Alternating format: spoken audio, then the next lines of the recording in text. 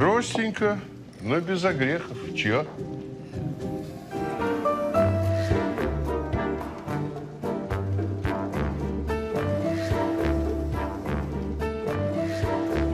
Я усвоила ваш урок, шеф. Я же просил ее не допускать. Так она не на вашей кухне, шеф.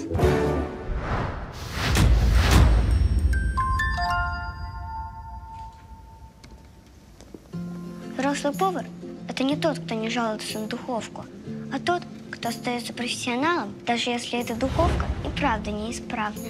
Даже если все, что у него есть под рукой, это детская кухня.